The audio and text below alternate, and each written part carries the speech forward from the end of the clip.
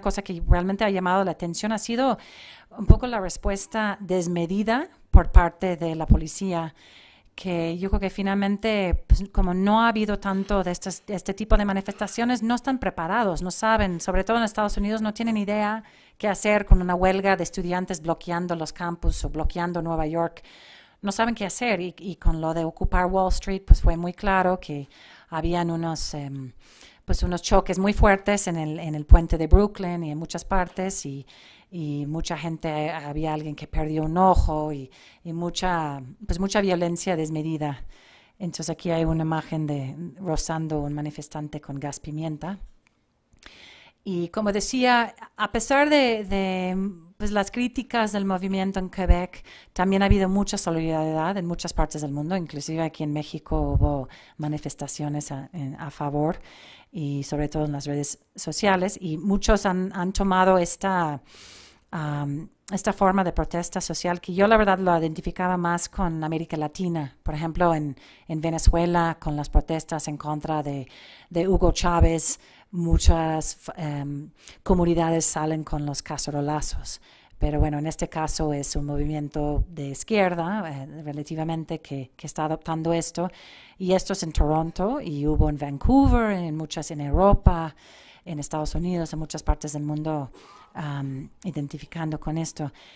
Y este, pues quiero también comentar, em, voy, a, voy a volver nada más a, a una parte, porque una cosa interesante de esta crisis inédita, de alguna manera, en estos sistemas de financiamiento, es que han habido propuestas inéditas. Em, por ejemplo, en este movimiento em, de ocupar la deuda estudiantil, este grupo puso en, en línea una propuesta, dijeron, vamos a hacer un boicot generalizado, nadie va a pagar.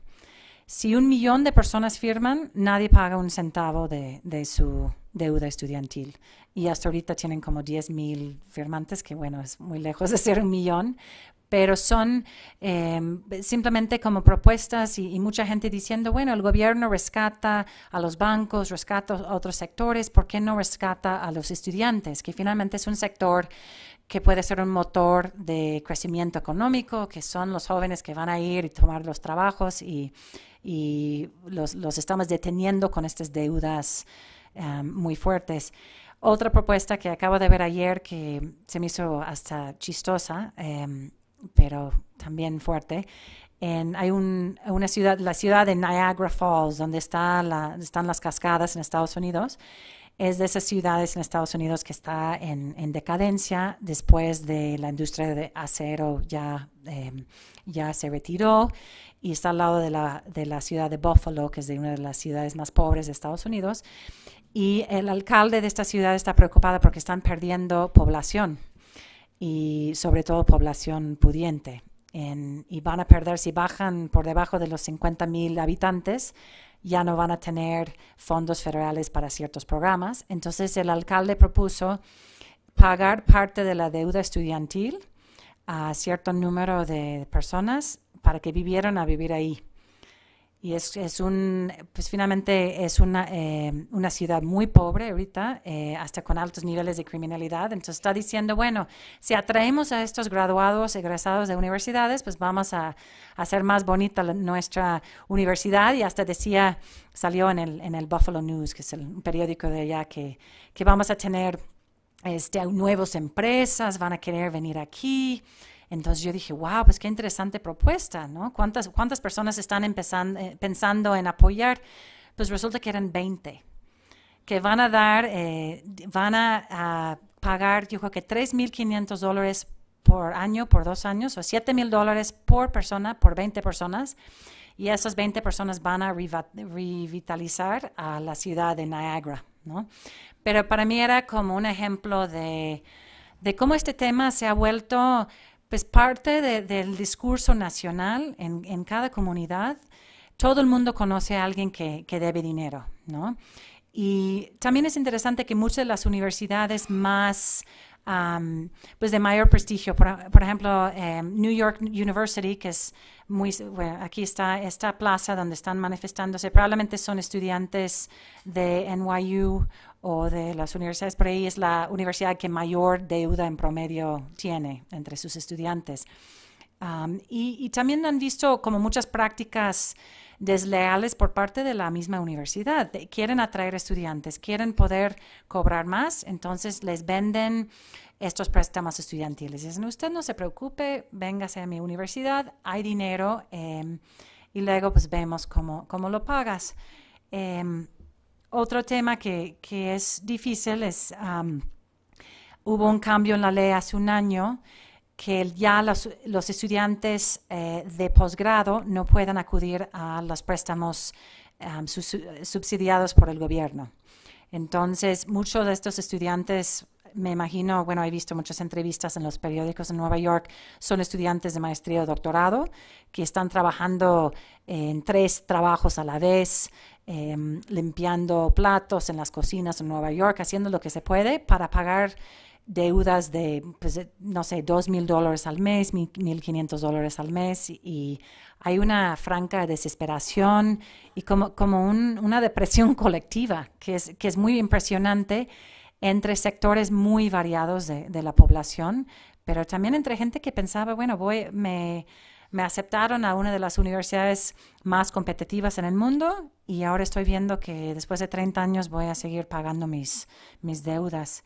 Em, y bueno, creo que, creo que vamos a, a dejarlo ahí y a ver.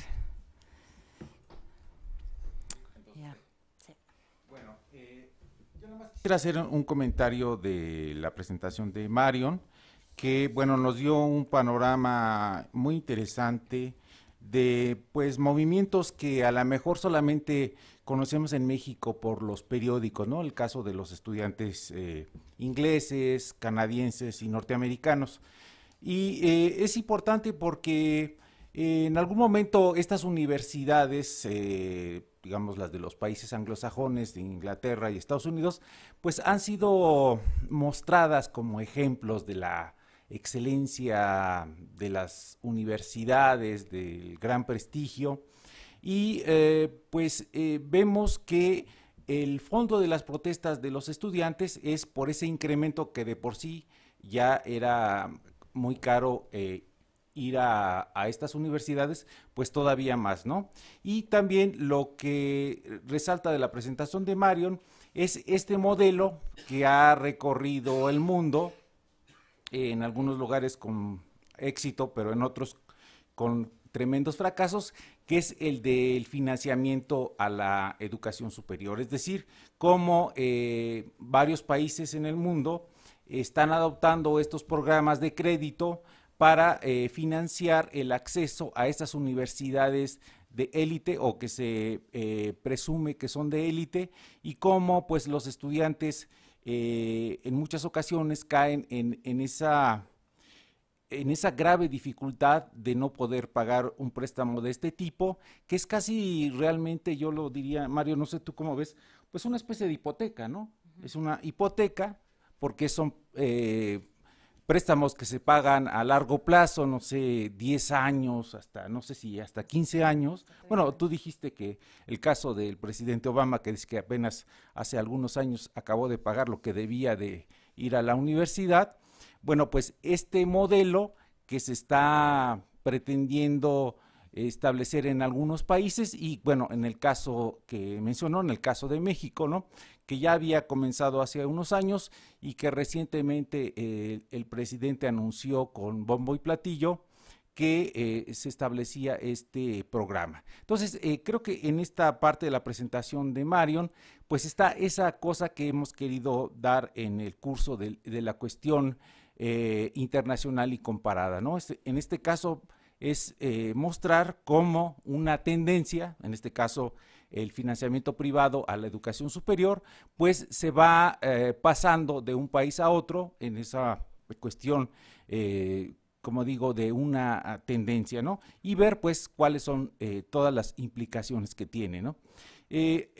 a mí me llama la atención cómo en, estos modelos, en el caso del modelo norteamericano, contrario a lo que nosotros creemos aquí en México, las universidades, bueno, algunas universidades públicas eh, no son gratuitas. Es decir, como en el caso de la Universidad de California y otras universidades que son estatales, pues a veces lo que se paga ahí es una cantidad bastante fuerte. ¿Cuánto estará?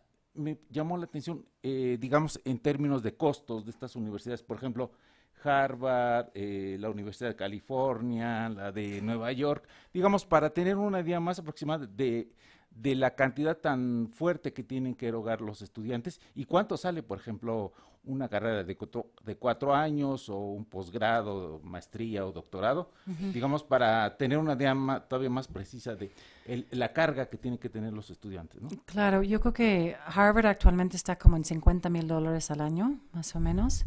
Eso se incluye todo. Pero bueno, estamos hablando de 200 mil dólares. Qué, es todo, Marion? Todo es el dormitorio, la comida, eh, bueno, los libros, ¿no? Que yo creo, bueno, a veces los estudiantes gastan, terminan gastando miles de dólares en libros, parece mentira. Bueno, igual saben, aquí no tenemos las mega fotocopiadoras porque que tienen aquí en la UNAM. Hay una, eh, pues hay una ah, librería en estas universidades y el estudiante va y lleva su listita y dice, ah, bueno, pues voy a comprar mis libros para mis cursos y sale después de 1.500 dólares en un semestre. Entonces, em, esa parte es muy fuerte, pero sí cubre. Y, cada vez más, yo creo que parte de, este costo es, es este modelo de, de competencia que es, de alguna manera es parte del modelo neoliberal del libre mercado. Entonces, en muchas muchas veces estas universidades están compitiendo entre sí, no por qué tan buenos son mis profesores, sino qué tan bonito es mi campus, ¿no? Qué tan bueno es mi centro de deportes. Em, yo sé, por ejemplo, en, la Escuela de Negocios de Harvard tienen como tinas con hielo y botellas de Evian para los que van ahí a, sudar después de sus clases.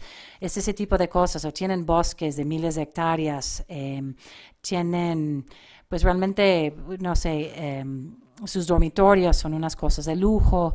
Y finalmente, eh, todo ese tipo de costos es para atraer los estudiantes o también tienen su profesor de premio Nobel a quien le tienen que pagar muchísimo más para poder decir tenemos un profesor con un premio Nobel, lo cual no es menospreciable, obviamente es un orgullo, es una cosa muy, muy padre, pero no necesariamente quiere decir que la experiencia en general para todos los estudiantes porque hay un premio Nobel, sea mucho más, eh, más grata, ¿no?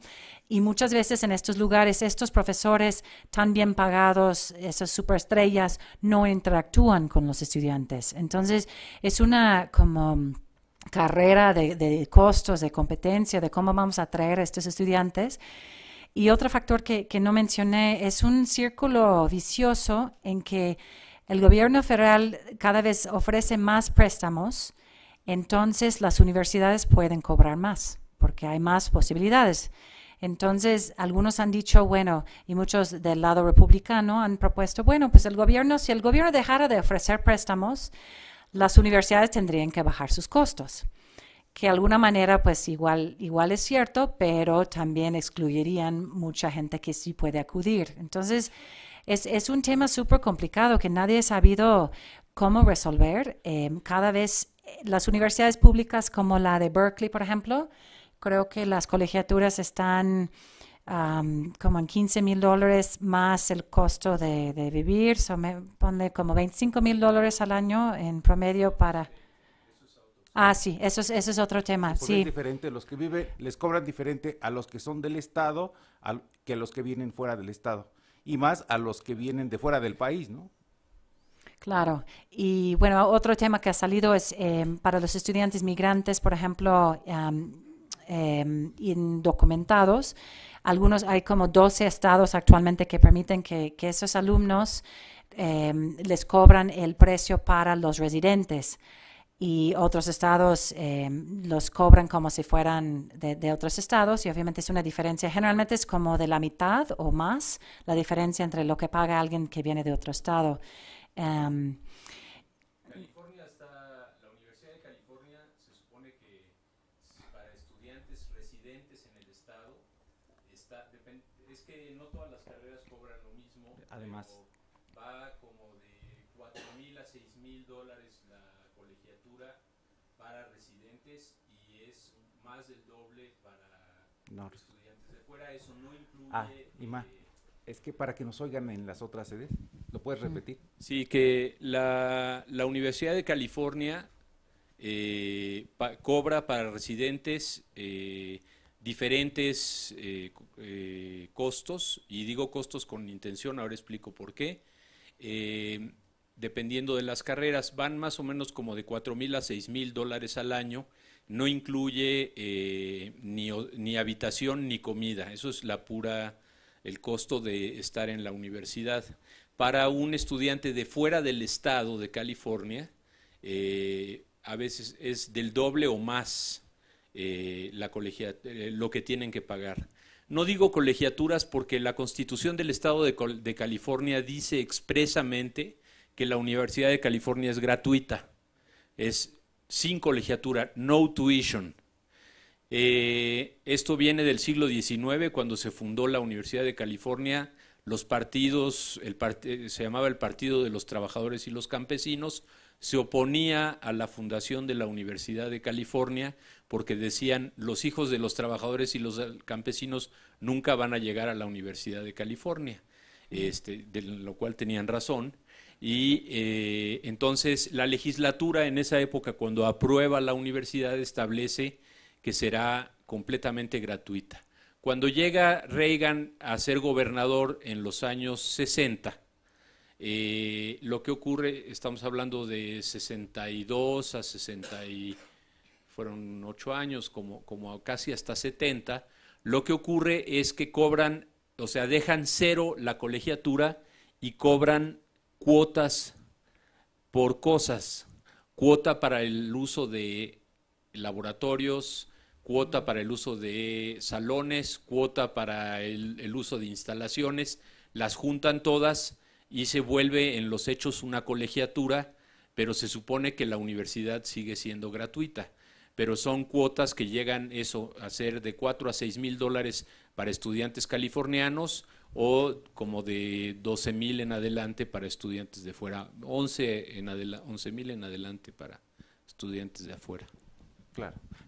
Otra cuestión que me parece interesante subrayar de la presentación de Marion es que estas universidades si, nosotros vemos el movimiento de estudiantes extranjeros hacia los países centrales, podemos ver que los flujos, es decir, las eh, cantidades de estudiantes que van de los países, eh, de ciertos países hacia Estados Unidos y Europa, eh, estos son los destinos que buscan los estudiantes extranjeros, ¿no? Es decir, también para las universidades eh, norteamericanas de prestigio, el hecho de recibir estudiantes internacionales significa para ellos una fuente muy importante de ingresos, precisamente por lo que es, acaba de señalar Imanol, por eh, los costos que se le cargan a los estudiantes que en este caso obviamente no son ni del Estado ni del país. Entonces, para ciertas universidades, eh, lo que pagan los estudiantes extranjeros es una fuente muy importante de ingresos. Entonces, también esto es eh, pues interesante de conocer porque eh, estas universidades anglosajonas de Estados Unidos y de Inglaterra sobre todo, hay de otros países europeos, pero a donde más se dirigen es a las norteamericanas y a las inglesas, pues significa una eh, derrama de dinero muy importante, ¿no? Eh, ahorita no me acuerdo las cifras, pero el número de estudiantes es muy importante y, bueno, lo que ellos pagan es también de varios cientos de millones de dólares cada año. Sí, iba, iba a comentar sobre esta cuestión de los estudiantes eh, que son de fuera del Estado como los internacionales, obviamente es una fuente de ingresos para los estados. Entonces, acaban de, anunciar en, el otro sistema de universidades en California, es el California State University, que es un sistema un poquito de, menos prestigio, pero también muy, muy bueno. Y acaban de anunciar que van a congelar los nuevos ingresos para estudiantes del Estado y solo va a incrementar el exceso para los estudiantes fuera del Estado porque finalmente pues todos están eh, frente a unas presiones muy fuertes de, falta, de fondos por parte de los gobiernos estatales. Entonces, todo el mundo está un poco pasando la, la, moneda diciendo, bueno, no es nuestra culpa, no queremos subir las colegiaturas o los costos o lo que sea, pero no tenemos dinero. Y actualmente hay una proposición, hay una un, un, voto cuando votan en noviembre en general en Estados Unidos, no solo votas por candidatos, también votas sobre temas y hay un tema de, de, si van a poder subir la tasa de el IVA en California y otros costos, me acuerdo si era sobre gasolina o una cosa así, para recaudar más fondos para las universidades. Y ahorita está como en 50, 52% de la población que está a favor, pero realmente están en, en una situación crítica y pues no hay muchos, muchas uh, propuestas de cómo resolver la situación, nada más la gente está desesperada y otra, otra cosa que, que me pasó mencionar hablando de estas propuestas, por ejemplo, lo de, del moratorio, de que no vamos a pagar nuestra deuda. También hay páginas en Internet donde la gente se sube su foto y su historia y dice, por favor, ayúdenme y la gente les manda dinero. Y yo, a mí me impresionaba muchísimo que hay no sé, como jovencita que cuenta su historia, que estoy, no sé, vi varios casos, la mayoría de mujeres, no sé por qué, em, y una había recaudado 10 mil dólares hacia pagar su deuda en dos semanas. dije, wow, pero sí hay como una una sensación de, de, de unidad y es un poco también en contra de Em, de, de, esta cuestión de, de, provecho, de que los políticos y las universidades están sacando provecho de la mayoría de la gente. Entonces hay como un, un reclamo social generalizado porque son personas de todo tipo de, de situaciones no son, antes era una idea de que si alguien va a la universidad es de élite y hoy en día como un 70% de, en Estados Unidos va a la universidad. Entonces estamos hablando de, de la mayoría de la población que tiene aspiraciones. Y nada más otro punto sobre el costo. En estas universidades con fines de lucro, uno de los temas es que ellos se presentan como una opción económica, pero en general cuestan mucho más que las universidades públicas. Entonces están buscando eh, o están, se están anunciando como una opción para los que no pueden pagar y realmente... Eh, pues pagan mucho más, pagan en algunos casos 30 mil dólares al año, 20 mil dólares al año para una universidad eh, donde su posibilidad de conseguir trabajo al salir es bastante menor, así fueran a la Universidad de California. Bueno, eh, también creo que vale la, la pena, eh, digamos, reflexionar en, estas, en esta línea de también pensar por qué la gente, a pesar de, estas situaciones a veces tan complicadas en las que se mete con los créditos eh, educativos, pues le sigue apostando a, hacer estos sacrificios. Y bueno, está ahí, pues sigue presente esa idea o ese imaginario o esa ilusión de que eh, aunque cueste demasiado, es una inversión porque esto de alguna manera va a dar frutos en un buen eh, trabajo con unos buenos ingresos. Lamentablemente, pues esto también está siendo cada vez más difícil y bueno, pues esto está pues generando precisamente esa tensión tensión social que se expresa en estas protestas de las que Marion nos ha eh, ilustrado. Entonces, eh, si no hubiera más, vamos a tomar un receso y vamos a tener también entonces, después del receso, tiempo para recibir las preguntas de nuestras ahora cinco eh, sedes foráneas que nos acompañan y eh, también, pues, obviamente con las preguntas de aquí del auditorio. Entonces regresamos en 15 minutos al cuarto para las siete, por favor. Compañeros, antes de que se retiren, los que han recibido el día de hoy el tarjetón de estacionamiento, alguien se quedó con dos tarjetones. Les pido de favor si revisan, porque estoy buscando el tarjetón con la matrícula 577 TJJ para poderlo entregar a la persona que corresponde. Gracias.